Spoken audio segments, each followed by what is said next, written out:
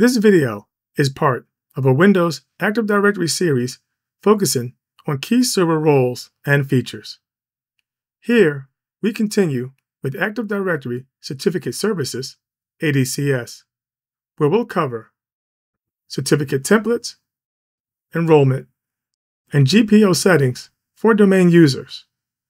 When complete, we'll demonstrate some common use cases such as signing a document, a PowerShell script, and a C Sharp application. Certificate templates and Active Directory certificate services simplify certificate management by providing pre-configured settings for common use cases such as client authentication and encryption.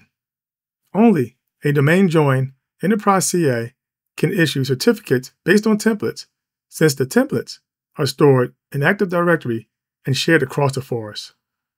Using an account with enterprise administrative rights, log into the Certificate Authority server or into a privileged administrative workstation. In Server Manager, click ADCS in the left pane. Right click the server and open Certification Authority. If you open the Certification Authority separately, you may see an error stating the service does not exist. Click OK. Right click Certification Authority, Local, and select Retarget Certification Authority. Select another computer and click Browse. The CA should appear there. Select the CA, click OK, followed by Finish. Expand the server's name and select Certificate Templates. Here, you will see the 11 default templates available for user and computer enrollment. Open the user template and note the certificate purposes and the other information fields. By default, a user certificate allows the holder to encrypt files on an NTFS volume, send secure email where enabled, and perform client authentication. We'll create a new user template that provides additional capabilities. Right-click Certificate Template and select Manage. A certificate template console will open, displaying all available pre-configured templates. We'll create a new user certificate that provides additional document signing and encryption capabilities. Right-click User and select Duplicate Template. Compatibility tab. Leave default settings, but I'm changing my minimums to Windows Server 2012. If changing the compatibility, be sure to read and understand the changes. General tab. Provide a unique, meaningful name. Subject tab. Leave the default, but note the settings. Extension tab. Select Application Policies, Edit, Add. Holding down the Control key, select Document Signing and Document Encryption. Click OK twice. Security tab. Select Domain Users and ensure Enroll is selected. Click Apply, followed by OK. Close the Certificate Templates console. Back at the Certification Authority, right-click Certificate Templates, New, Certificate Template to issue. Select your new certificate template. Open the terminal. If logged in at a privileged administrative workstation, enter a remote PSS session into the CA server. Use the get-ca template commandlet to see the templates and ensure your new one is listed. Important. Ensure user accounts have an associated email address when using new custom templates, even if there is no email server or capability. From any domain join workstation, log in as a normal user. If permissions permit, open Certificate Management. Expand Personal. You may or may not see a Certificates folder. Right-click, All Tasks, Request New Certificate. Click Next twice you should now be able to see the certificates in which you are allowed to enroll. Select the template you created and click Enroll. You will now see your certificate. If you cannot open certificate management due to limited permissions, open a terminal or PowerShell session.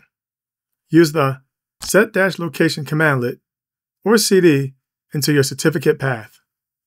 The get-certificate commandlet will allow you to enroll. However, you need to know the template name. Type dir to see the certificate.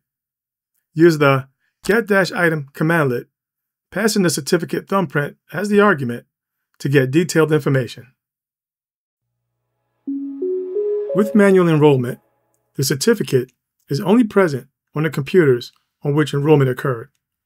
Automatic enrollment does just that. It automatically enrolls eligible users when they log into a computer. Back at the CA server or Privileged Administrative Workstation, logged in with Enterprise Admin Rights, open Certification Authority, Certificate Templates, Manage. Right click your new certificate and select Duplicate Template. General tab. Provide a new, meaningful name. For demonstration purposes, I'm also including code signing. Security tab. For domain users, select Auto Enroll under the Allow column. Apply the changes and close the Certificate Templates console. Right-click the Certificate Templates, New, Certificate Template to Issue. Select the newly created template. For auto-enroll to work, we have to enable a group policy object setting. At a privileged administrative workstation or server with RSAT installed, open Group Policy Management. For this example, we'll create a new, separate policy for a specific OU. Right-click the OU, select Create a GPO in this domain, and link it here.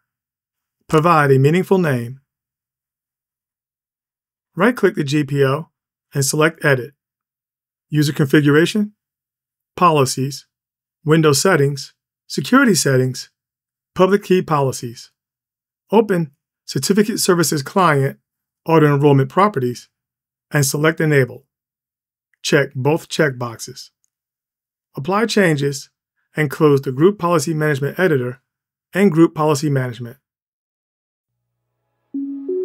On a domain joined workstation computer, log in as a regular user.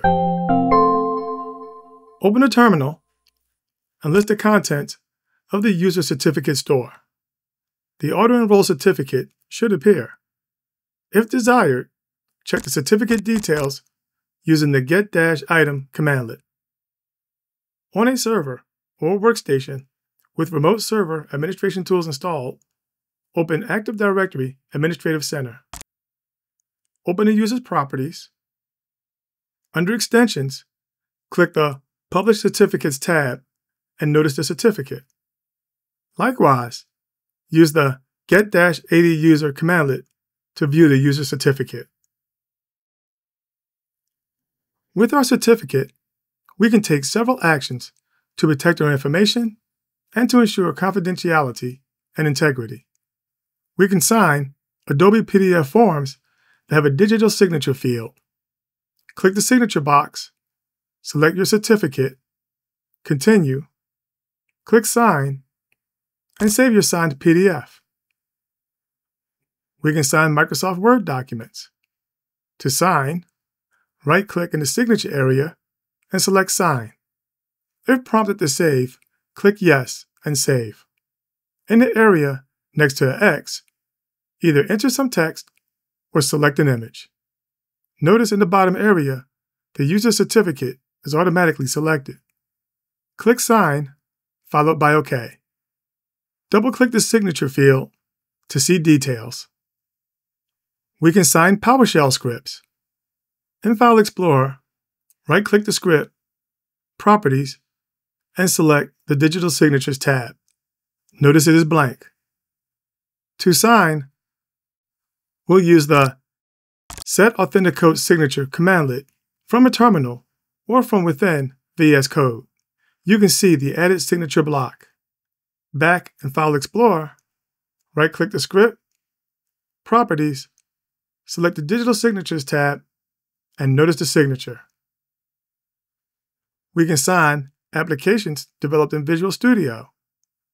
For this demo, we'll sign a .NET application. Right-click the app, select Publish. For Target, we'll select ClickOnce. At the Sign Manifest section, click the Sign checkbox and click Select from Store. Select your certificate. Continue to finish publishing and close when complete. Click Publish. When completed, click the Publish Location link. Right-click Setup, select Properties, Digital Signatures to see the signature. Double-click Setup to install. Right-click the app icon in the taskbar. Right-click the app, select Properties, Digital Signatures. Confirm the actual application is also digitally signed with the user certificate. And we can also encrypt files so that only the certificate folder can decrypt. In File Explorer, right-click a folder and select Properties. Click Advanced and check the Encrypt Contents checkbox. If presented with a confirmation dialog, select Apply changes to this folder, subfolders, and files. Open the folder and notice a yellow star in the upper right corner. Right-click any file, Properties, Advanced, Details. Only listed users can access the file. Even administrators are denied access. To add other users, click Add. Click OK to exit all dialog boxes. In the next video, in this Active Directory Certificate Services series, we'll cover computer certificate templates, enrollment, and computer GPO settings. Web server SSL certificate generation with multiple subject alternative names will also be covered. I hope you enjoyed this video, learned something new, and found it useful. If you have any feedback, corrections, or suggestions, please let me know in the comments below. Please like, subscribe, and pass it on to others. Thank you for watching.